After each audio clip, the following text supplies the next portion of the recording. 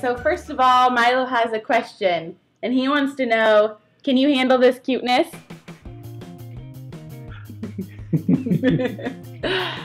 Anyways, um, today I thought I would do a uh, swaddling video. Not only show you how to swaddle, but also show you um, some of the swaddles I've used and my favorite swaddles. Um, so I have four different types of swaddles that I'm going to show you guys today and how you would swaddle your baby in them and which features I like best about them. Um, Milo is four months old, so he is getting close to not being swaddled anymore. They recommend to stop swaddling once they can roll from back to belly. Right now he can only roll from belly to back. So I know the day is coming soon. He's getting so close, um, and I'm not exactly sure what we're gonna do when we can't swaddle because he sure loves being swaddled. We'll do a slow transition though, and um, I'll talk more about that with these swaddles. But you can swaddle with one arm out, you can swaddle both arms out, you can swaddle both arms in. So let's get started. So the first swaddle that I'm going to talk about is this. It's just a blanket. This is one of the Aden and Anais blankets. Um, it's this huge square. It's muslin cloth. And um, I really liked these for when he was smaller. When he was a little itty bitty baby, it was really fun to swaddle him in um, like these type of blankets. But now that he's older, he can break free from them and I just don't feel like it's that safe anymore because sometimes he'll get the blanket up around his head um, and it just obviously he wakes himself up because he unswaddles himself. Um, I, I still like these. They're, they're great just for a lightweight blanket. Um, I use it to like nurse with in public, just kind of throw it over my shoulder. So even though I can't swaddle with these anymore, I still find them very useful. he doesn't know about all this. So just set up your uh, huge swaddle blanket. I mean, these are very large. So you're gonna um, fold one corner down. And then you're going to place your baby's shoulders at the top of um, the blanket. You don't want to place them too high because you want the swaddle to be around his shoulders, not around his neck. So you're gonna place the shoulders. And then you're gonna put one arm over. And you're gonna bring this over. And you're gonna tuck it right under him, nice and snug. It's gonna be snug. There is some give to these blankets, so it's better to be a little snug. And look at him, see, he's just, he just likes to break free. Okay, you're gonna bring the bottom up, and you're gonna kind of wrap that behind a little bit. And you're gonna put this arm over, and you're gonna bring this side over. And you're gonna do it again pretty snug and then you fold it underneath and you've got your baby all swaddled. Um, depending on how you do it and the size of your child, you might have the swaddle blanket come all the way over and if, it, if you do have enough where it can come all the way over, you can actually tuck it just right into here. Um, I used to do that, but now that he's bigger, it doesn't quite work that way. But there is our first swaddle. So when you swaddle your baby, it's important to keep the hip area and the legs a little bit loose. So you want the arms tight and this part loose because you don't want it to put too much pressure on his delicate little hip joints, huh? Yeah. So tight arms, loose legs. After this swaddle wasn't working for me anymore, I ended up getting some of these, and this is this is the Halo Sleep Sack Swaddle. So um, it's kind of like a sleep sack, but then it has the swaddling wings. And I will show you how this is done. So you're going to put your baby in.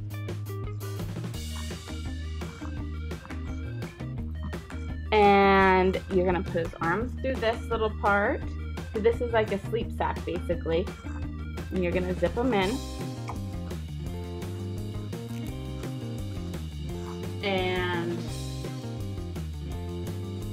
And then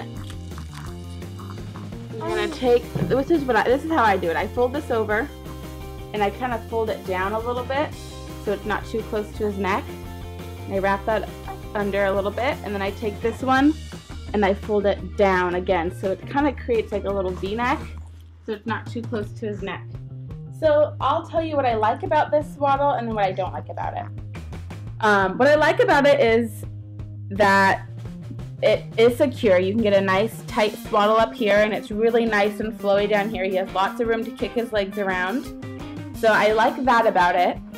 Um, but that's about it. That's about all I like about it. So I mean, it worked for us. I used it for you know about a month or so, maybe a little bit more. It worked for us, but I just I never loved it. And the biggest thing was he, up until recently, he pooped a lot during the night. So that meant a lot of diaper changes.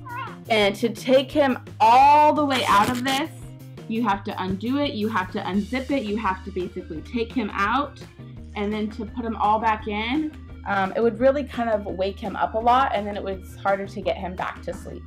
So I don't like how how, how not easy it is to change his diaper. Um, I definitely wanted something a little bit more simple. So I went back on the hunt to find another swaddle. We have our third swaddle, which this one is pretty common. I think a lot of people probably use this or have heard of it. This is just the Swaddle Me by Summer Infant. And this is a pretty standard like swaddle sack. And I will show you how this one is done. This one looks pretty small, but it, actually fits in really nice. So you put them in.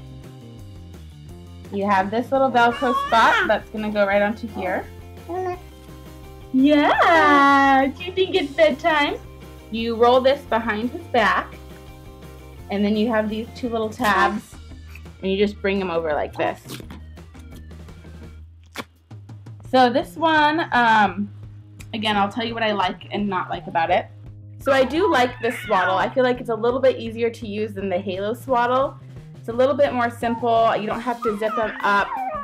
Um, Hi. You know, it's nice snug fit up here. It's loose down here, not quite as loose, which depending on what your baby likes, they may like it looser or a little bit tighter, but it's still plenty of wiggle room down here.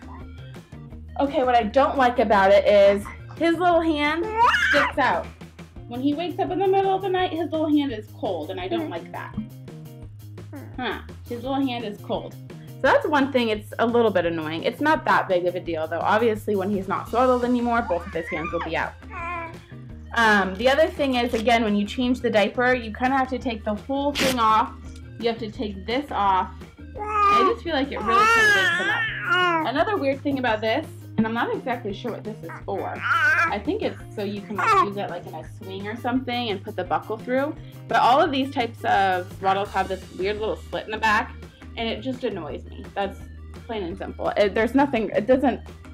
It doesn't change the functionality of the swaddle, but it's like there's a hole in my swaddle, and it's supposed to be there, and I don't like it. So now on to my favorite swaddle, and I I really wish I would have found this earlier because this is something that I really could have used um, from birth, and I think I would have would have really liked it um, for your whole swaddling phase of life. So first of all, the Ollie Swaddle comes in this adorable box. And who doesn't like things that are packaged nicely? So it comes in this box. You open it up. It's folded nicely in here. Not anymore. They send you a thank you card, which I like to be thanked for what I buy. That is so nice. Um, and then it comes with its very own washing sack. So you do need to wash it on delicate and on a low heat for drying and you put it in this little um, laundry sack and that's really nice that they actually provide that. So this is a cute box. I'm gonna actually probably keep this in the nursery. Milo, I can put his little keepsakes in here. Huh, you like your box? You like your Ollie Swaddle box? Yes, he does. Okay, so here is the swaddle. And this fabric, I wish you guys could like reach in and feel this fabric because this fabric is just amazing. It's like this stretchy kind of jersey feel on the outside and then like this soft like brushed cotton on the inside. So we have the inside of this swaddle is really soft and then the outside it's like this it's very moisture wicking. So if you get anything wet on this, it like almost dries immediately. It's very nice. Um, so it doesn't look like anything too spectacular. It's just a blanket with a bunch of Velcro on it. But the stretch this thing has, oh, I just love it. So we are going to show you how to use this one. down, Milo. So you're gonna lay your swaddle down. And it kind of goes up a little bit right here in the middle. I don't know if you can see that or not. But that is where you're going to put his back. I'm gonna put his arm down. And you just bring this over. Actually, I have him up a little bit too so I'm gonna bring him, up, there we go. Okay, so you're gonna bring this over. And then you put this arm down, and you're gonna bring this tabs over. One, two, and three. And then this has a little um, elastic band down here. And you're just gonna go like that. Hi! Do you love your Ollie swaddle? Um, I didn't actually do it quite as tight as I usually do it. Just because I didn't want to upset him right now. He's um, been swaddled and unswaddled many, many times. Right now they have the Nature Collection out and they have this beautiful blue pattern which is called Sky. They have uh, a very soft lavender and then like a taupe gray called Stone. So it's a very beautiful collection. I love the Nature Collection. The muted colors are just very soft and relaxing. Um, and you can use this at any age because it's just so adjustable. You get a super nice tight swaddle. Again, it's loose down here and it's so adjustable in the length because you just put the band on. Um, so what's also great about this is super easy for diaper changes. You just open up the bottom. Um, sometimes I do have to unstrap like one of them or two of them, depending on what kind of pajamas he's wearing. But still, his arms stay swaddled. I'm not taking him all the way out of the swaddle. I do the diaper change and I put it back up and he is he's good to go. It's not very disruptive to his sleep. He usually stays completely asleep while I'm changing him. And then that makes it really easy to just lay him back down. Um, I also feel like it helps him sleep longer periods of time too, um, which is great. He's doing really good with sleeping. So. so that is how you swaddle your baby. Those are the swaddles that I've used. Um, this one is my favorite. Um, I probably will end up, if I would have got this from the beginning, I definitely would have gotten a second one. Since I didn't get this swaddle until he was three months old, I didn't feel like I'd get enough use out of it to get another one. Um, but for the next baby, I definitely will grab another one of these. Thank you guys for watching. Let me know if you have any swaddling questions. Um, and let me know what your favorite swaddle is. I'm sure there's other swaddles out there that I haven't tried. Well, I know there's other swaddles I haven't tried. And I'm sure there's some other good ones out there as well. If you're interested in purchasing this though, I will definitely leave a link in my description because I'm telling you guys, this swaddle is amazing. It's um, a little more pricey than some of the swaddles out there, but I just, it's so worth it. It works so great. I love it. So, um, Milo, do you have anything to say? Just that he probably wants to nurse and take a nap. So thank you again. Subscribe to this channel and um, definitely look for some more uh, fun baby videos.